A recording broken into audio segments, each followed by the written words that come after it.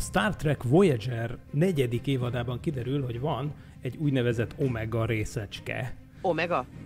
Mond valamit? A mesterségesen létrehozott, de a sejtések szerint a természetben is megtalálható omega jelenlétét kimutatják a Voyager érzékelői, és életbe lép az úgynevezett omega direktíva.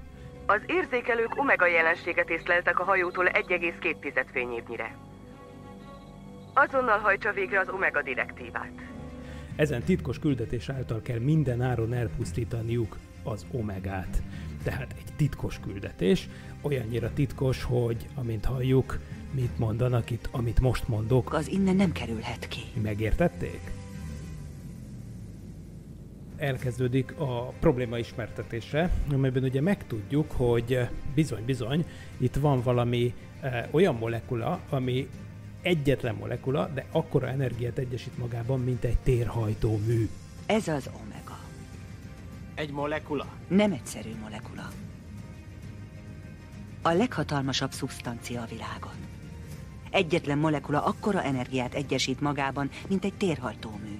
Elméletben egy rövid lánc elpusztíthat egy egész civilizációt. A kérdés az, hogy mire gondolhatott a költő, tudományos szempontból van ennek bármilyen értelme, lehet-e egyáltalán, és hát milyen a valóság tudományában elméletben létező részecske lehetett a sorozatbéli omega alapja. Na erre a kérdésre keressük a választ ebben az extra videóban. Én Vince Miklós vagyok, tartsatok velünk!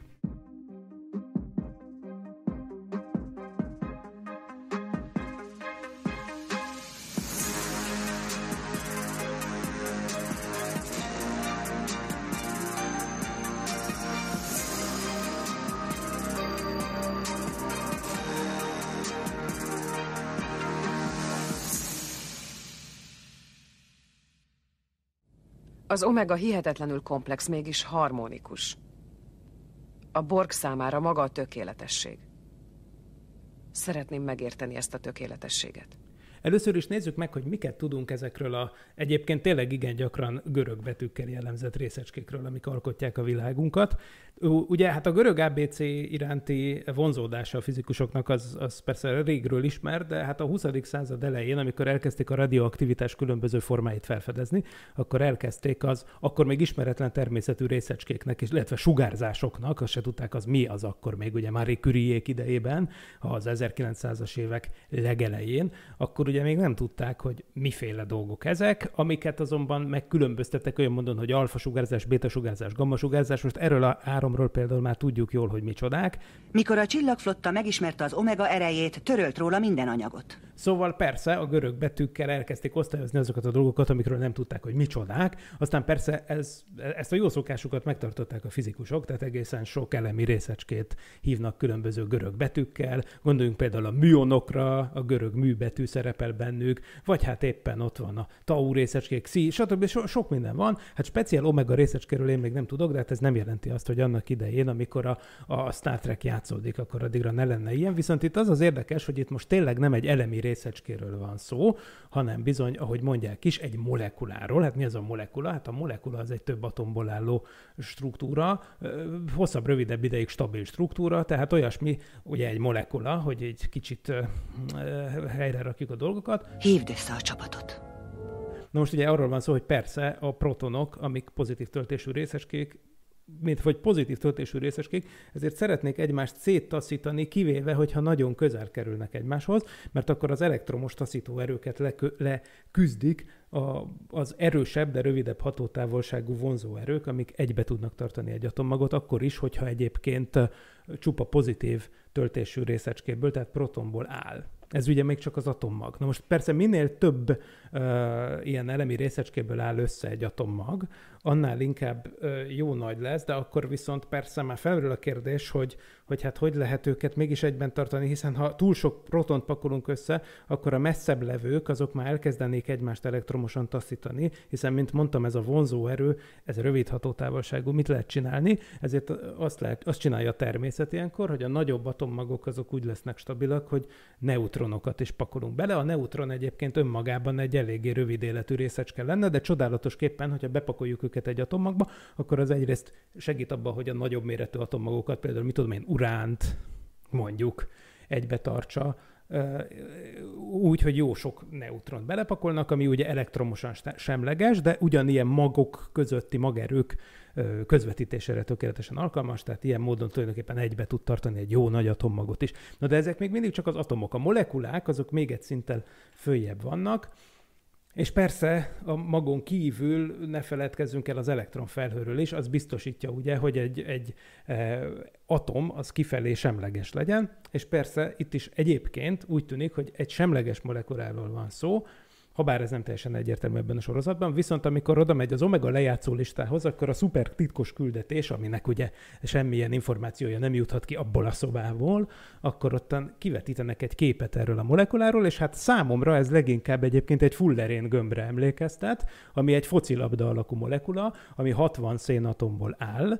ilyeneket csinálnak, ilyen lehet csinálni, ez 1960-as évek óta lehet ilyeneket előállítani, és tényleg az konkrétan focilabda alakú molekula. A, fo- a focilabdának egyébként az a matematikusosabb elnevezés, hogy csonkolt ikozaéder, aki nem hiszi, az fogjon egy ikozaédert, és ami szabályos test, és csonkolja le, és akkor látni fogja, hogy hatszög és ötszög alakú lapok keletkeznek, azok határolják e, ezt a molekulát tulajdonképpen, ami 60 darab szénatomból áll, minden rácspontban van egy-egy molekula, hát szerintem nagyjából így néz ki az, amit ott kivetítenek.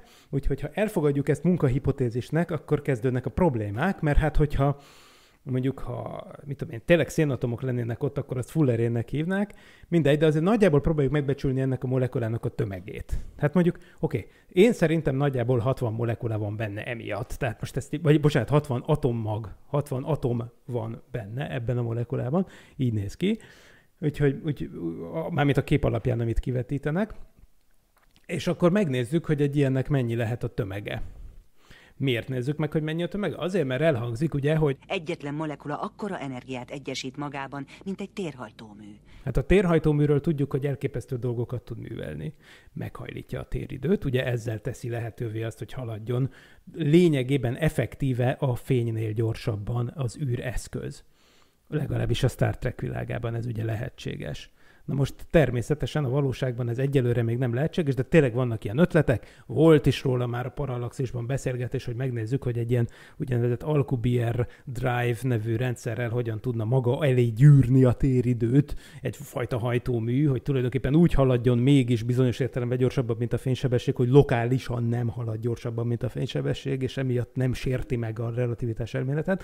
Szóval hát ugye ilyesmikről már volt szó, most a kérdés az, hogy oké, okay, az biztos, hogy annak idején ki is számoltuk, hogy ez mennyi, de mennyi energia kell ahhoz, és arra jutottunk, hogy bizony ott olyan bolygó méretű tömegeket kell teljes egészében energiává átalakítani ahhoz, hogy egy térhajtómű meggyűrje, meggyűrje ilyen módon maga alatt a teret, vagy a téridőt pontosabban. Na már most hát ugye mi a számítás alapja? Hát az a híres Einsteini képlet E egyenlő MC négyzet, ami konkrétan elmondja, hogy egy M tömegű anyag az mennyi energiát képes összességében tárolni, tehát az ő nyugalmi tömegében mennyi energia van tárolva. Tehát, hogyha azt az anyagot úgymond teljesen megsemmisítjük, olyan értelemben, hogy konkrétan fényi szétsugározzuk valamilyen módon, például valami anyag, antianyag ütköztetéssel, vagy valami, most ebbe nem megyünk bele, de a lényeg az, hogyha ilyen értelemben teljes egészében annihiláljuk, megsemmisítjük azt a részecskét, tehát tiszta energiával átalakítjuk, akkor az E egyenlő MC négyzet képlet ad egy fölső limitet. Na most hát az a baj, hogyha a C60 molekulát, a fullerén gömböt számolnánk, akkor például ilyen értelemben egyetlen egy, egyetlen egy molekulából nevetségesen kicsi energia jön neki, de hogyha direkt választottam, mivel hogy nem állítja a film, hogy, hogy ezek itt egyébként szénatomokból vannak, ezért fogtam magam és vettem egy jó nagy molekulát, csak a nagyságrendi becsléshez. Ez a jó nagy molekula amúgy egy, egy biológiai makromolekula volt, az inzulin, ugye ezt ismerjük, ugye a cukor cukorlebontásban fontos szerepe van. Ugye hát az élő szervezetekben marha nagy molekulák tudnak lenni, gondoljunk csak a DNS-re. Most ez azért annyira nem nagy, de azért egy inzulin molekula az mégis csak 254 szénatomot tartalmaz, 377 hidrogénatomot, 65 nitrogént, 75 oxigént és még 6 kén atomot is tartalmaz. Tehát azért ez egy jó masszív molekula, tehát hogyha kiszámoljuk, tényleg látjuk, hogy itt sok száz, sok száz atomból van összerakva, és hát megnézzük, hogy ennek, hogyha beírjuk ennek a tömeg tömegét, ennek a molekuláris tömegét, egy, egyetlen egy részecskének a tömegét, egy inzulin molekulának a tömegét beírjuk az E egyenlő MC négyzet képletbe, akkor hát mégiscsak hát egy 10 a mínusz hetediken zsúl jön ki, tehát azért az nagyon kicsi, tehát az egy, az, az, az oké, okay, fantasztikus, ahhoz képest, hogy egyetlen egy pici már hozzánk képest pici molekula tárolja, de hát az, az nem fogja meggörbíteni a teret enyhén szólva, az még egy légypiszkot sem fog tudni a répőt szinteni. Tehát jelenlegi tudásunk szerint egyetlen egy molekula a saját tömege szorozva C négyzetnél több energiát egyszerűen nem tud tárolni, úgyhogy nem tudom elképzelni, hogy a következő 300 évben, amire eljutunk oda, amikor a Voyager játszódik, ez hogyan változna meg.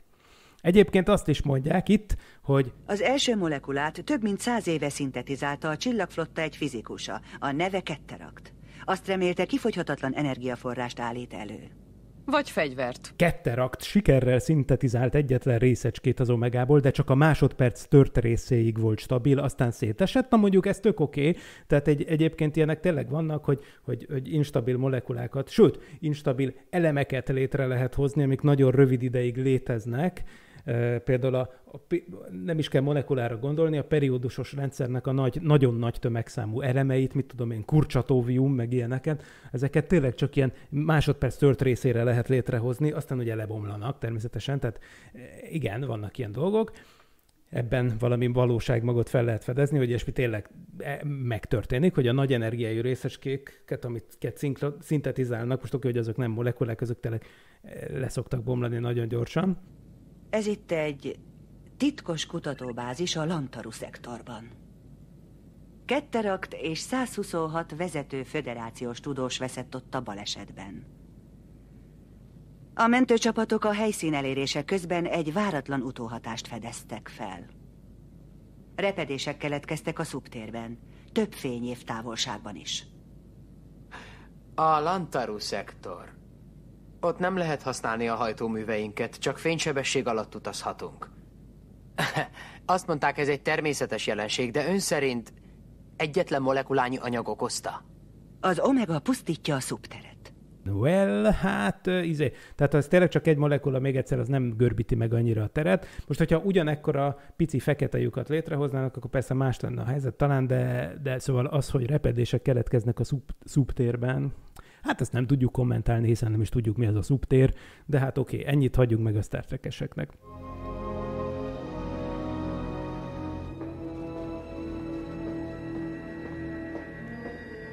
Állítsa a sugarat a legkeskenyebb szórásra. Értettem. Megcélozzuk az épületet egy gravimetrikus torpedóval. Ha a transport közben történne valami, ez lesz az egyetlen esélyünk. Így a kapitánynak. Két hajó közeledik keresztező pályán, nem válaszolnak a hívásra. Mikor érnek ide? Négy percen belül. Transportáljuk a molekulákat egyenesen a harmonikus tartályba. Itt felmerül a kérdés, hogyha mondjuk létezne ez az omega részecske, akkor lehetne-e transportálni? Hát, ugye még egyszer, tehát hogyha ez akkora energiát tartalmaz, hogy hallgatólagosan elfogadjuk, hogy úgy görbíti meg a teret maga körül, mint egy térhajtómű, akkor természetesen nem. Tehát akkor konkrétan egy ilyet beraknál oda, akkor az begörbíteni az űrhajó terét, beleérve a transportert, meg mindent tönkretenne. Tehát ugye olyasminek kell ezt elképzelni, ilyen nagy energiasűrűséget. Mintha az egészet összenyomták és megtekerték volna.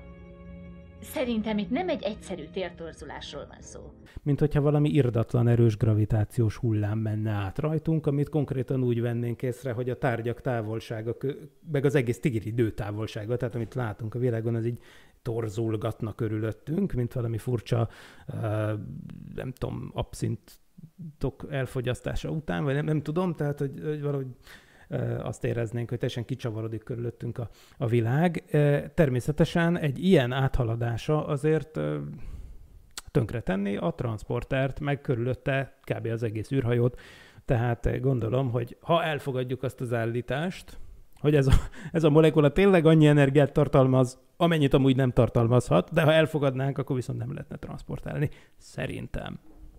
A mintaerősítők aktívak.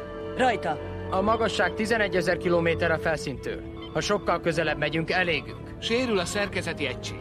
9000 kilométer. Elég közel vagyunk. Energiát! Indítom a transportot.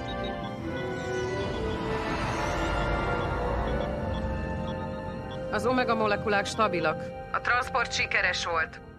A mintaerősítők aktívak, 11 ezer kilométer a felszín fölött. Mennyi idő múlva kapcsolhatunk fénysebességre? Hát, mennyi idő múlva kapcsolhatunk fénysebességre? Szerintem erre már tudjátok a választ. Na, nagyon szépen köszönöm, hát ennyit tudok elmondani arról, hogy mi a helyzet az Omega direktívával. Hasonló tudományos és fantasztikus érdekességért nézzétek és hallgassátok a Parallaxis univerzum tartalmait. Sziasztok! Nem volt elég a tudományból és a fantasztikumból? Olvasd a parallaxis.emtv.hu, lájkold a Facebook oldalunkat, nézd a YouTube csatornánkat, és hallgassd a Szokolébresztőt a Tilos Rádióban. A Tudományos Újságíró Klubja és a Tudományos Ismeretterjesztő Társulat által a Juhari Zsuzsanna díj külön díjával jutalmazott blog podcastjét az MD Media készítette. Kreatív producer Horváth Ádám Tamás. Hamarosan jön a következő rész.